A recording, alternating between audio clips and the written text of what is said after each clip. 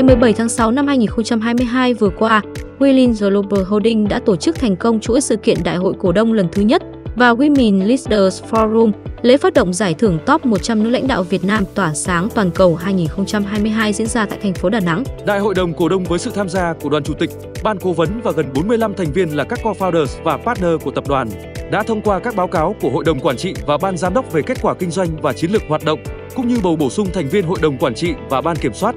Theo đó, Hội đồng quản trị của Willin Global Holding là bà Nguyễn Thu Hương, Chủ tịch Hội đồng quản trị cùng các thành viên là bà Nguyễn Thu Trang, bà Mai Thu Huyền, ông Nguyễn Ngọc Hoàng và bà Đặng Thị Thúy Hoài.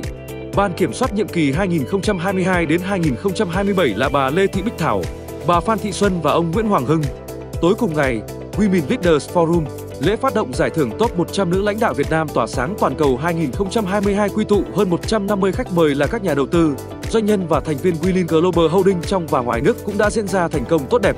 Theo đó, Giải thưởng Top 100 nữ lãnh đạo Việt Nam tỏa sáng toàn cầu 2022 do Willin Global Holding phối hợp cùng tạp chí Women Leaders và phong cách doanh nhân tổ chức với sự thực hiện của Nam Hương Media Group sẽ có chuỗi hoạt động nhằm tìm kiếm và tôn vinh 100 nữ lãnh đạo hoạt động trong 100 lĩnh vực kinh doanh khác nhau.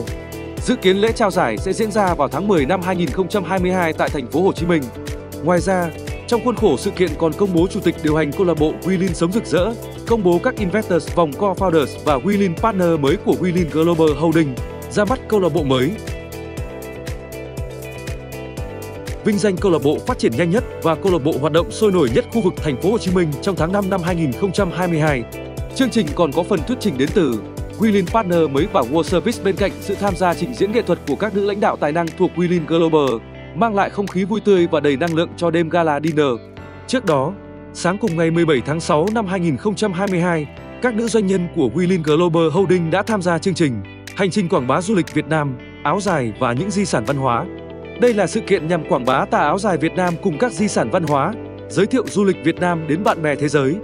Đêm gala khép lại thành công, có phần đưa các hoạt động ý nghĩa của Willin Global Holding tiến gần hơn đến các doanh nhân trong và ngoài nước đưa lý tưởng kiến tạo mạng lưới nữ lãnh đạo thịnh vượng lan tỏa đến cộng đồng doanh nhân và rút ngắn khoảng cách đến sự thành công của chiến lược IPO năm 2026 của tập đoàn nữ lãnh đạo toàn cầu Willin Global Holding.